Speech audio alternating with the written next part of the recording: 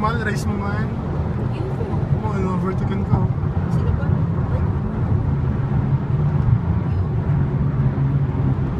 Safety first.